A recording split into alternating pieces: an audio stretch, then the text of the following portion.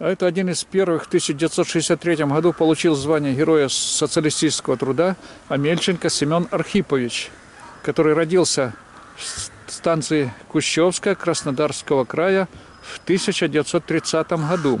Окончил морскую школу плавсостава, работал в рыбколхозе имени Орлова, а с 1955 года стал капитаном судна «Шквал»